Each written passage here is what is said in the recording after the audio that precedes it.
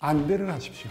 그러면 여성분들은 저 안대를 3개월이나 6개월 정도만 하시면 아, 안녕하십니까. 저는 고려대학교 의과대학의 명예교수로 있는 나흥식입니다. 수면 호르몬 멜라토닌 잘 아시죠? 오늘 멜라토닌이라고 하는 호르몬에 대해서 말씀드리겠습니다. 멜라토닌이라는 호르몬은 어두우면 분비됩니다. 반대로 눈으로 빛이 들어오면 그 분비가 멈추지요. 수면 어, 들어가기 전에 졸리다. 여러분들이 깜깜해지면 조금 있으면 졸리다라는 느낌이 드는 것이 멜라토닌의 도움이라고 생각하시면 되죠. 연세 드신 분들은 점점 점점 수면의 질과 패턴이 바뀌어 가게 돼요. 충분히 주무시지 못할 뿐만 아니라 조금 일찍 주무시고 일찍 일어나시기도 하고 또 수면을 하시는 동안에 중간에 수면이 토막토막 나서 자다가 깨고 자다가 깨는 것을 반복하지요. 근데 그 상황을 멜라토닌의 분비량하고 비교해 보면 너무도 잘 맞아 떨어집니다. 젊었을 때 아주 잘 나오던 멜라토닌의 호르몬 어, 분비량이 점점 점점 줄어들어 노화와 함께 줄어들게 되죠. 늙기도 서러운데 멜라토닌까지 무시하는 것 같습니다. 적어도 틀림없는 건 수면의 질이 나빠진다는 것이죠. 수면 유도와 관계 있는 멜라토닌의 아, 또 다른 기능은 항산화작용입니다. 학자들이 생명체가 제일 먼저 만들었을 거라고 추정하는 것이 바로 지금 배우려고 하는 멜라토닌입니다.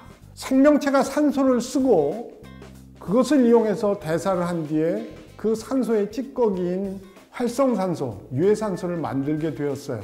좀 더 정확하게 얘기하면 생명체는 산소가 없으면 죽지만 그 산소의 찌꺼기인 유해산소에 의해서 죽어갑니다.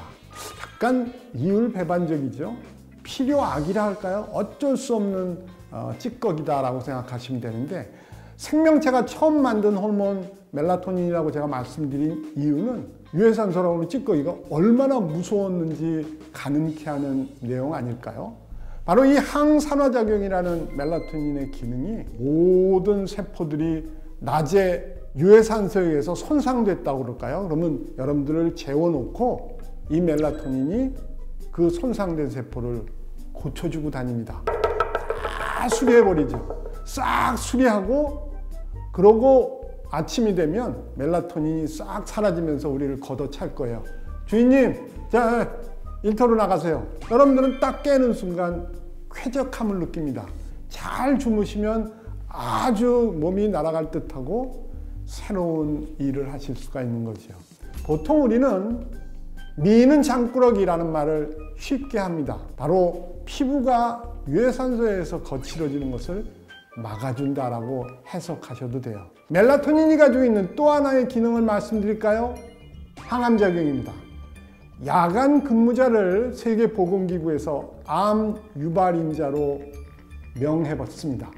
야간 근무자들이 밤에 깜깜한 상태에서 멜라토닌을 어, 분비시키지 못하면 결국은 암을 제대로 제어할 수 없다는 것입니다. 이렇듯 야간 근무자에게 발생한다고 그러는 암 중에 제일 관심의 대상이 되고 있는 게 유방암입니다. 밤에 빛에 노출되어 제대로 멜라토닌을 누리지 못하는 분은 특히 여성분이라면 유방암에 걸릴 가능성이 있으니 잘 생각하셔야겠죠?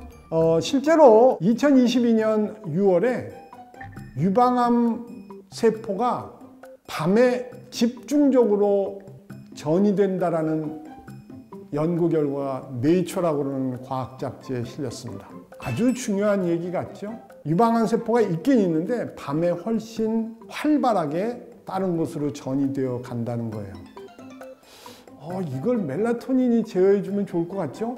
푹 주무시면 유방세포가 밤에 집중적으로 전이되고 있는 것을 차단할 수 있을 것 같습니다. 아주 중요한 힌트를 얻은 것 같습니다. 우리 조상들은 포식자를 피해서 칠 같은 동굴에서 수면을 취해 왔다고 말씀드렸잖아요. 낮에는 환한 데서 사냥이나 채집을 하다가 결국은 밤에는 포식자들이 우리를 공격하는 것을 피해 아주 깊숙한 동굴 속으로 아마 어, 숨어 들어갔을 거라고 생각합니다. 이때 멜라토닌을 충분히 즐기셨겠죠?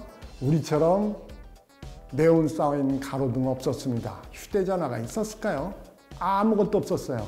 이때 멜라토닌이 풍부하게 나오면 아주 잘 나온 상태에서 낮에 있었던 유해산소의 그 폐해도 싹 치료하고 당연히 항암작용도 누리셨을 거라고 생각합니다. 우리는 어떻게 살고 있는지 한번 알아볼까요? 우리는 빛 공해에 살고 있습니다. 당연히 가로등, 네온사인 뭐 자고 있는데 그 막을 방법이 없죠. 커튼으로 막아지나요? 방안은 어떤가요? 전자기기를 포함한 여러분들 머리맡에 있는 휴대전화를 포함한 우리를 완전히 공포의 도가니로 만들고 있는 셈입니다.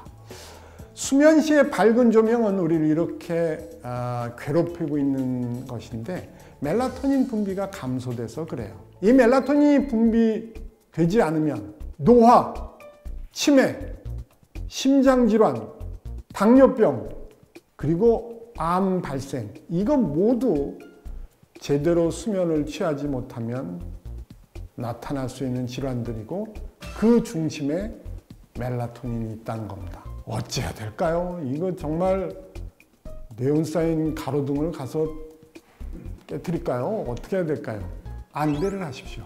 그러면 지금보다는 수면의 질을 훨씬 높이실 수 있을 거고 여성분들은 저 안대를 3개월이나 6개월 정도만 하시면 피부가 완전히 다른 차원으로 만들어 놓을 수가 있을 거예요. 미인은 장꾸러기가 아니라 안대가 미인을 만들어 줄 거라고 제가 감히 말씀드립니다. 꼭 기억해 두시기 바랍니다. 아, 또 최근에 신기한 연구 결과가 하나 나왔어요. 이 말씀을 드리면서 마치려 합니다. 수면 부족이 남을 덜 돕게 만든대요. 푹 주무시면 상대방에 대한 배려심이 증가한다는 거죠. 2022년 8월에 나온 플러스 바이올로지라는 논문집에 나온 결과였는데 심리학 교수님들이 버클리 대학에 있는 교수님들이 쓰셨는데 충분히 주무시고 상대방에 대한 어, 배려를 통해 우리 전체를 이타적인 사회로 만들었으면 하는 바람입니다. 도움이 되셨나요? 오늘 여기까지입니다. 감사합니다.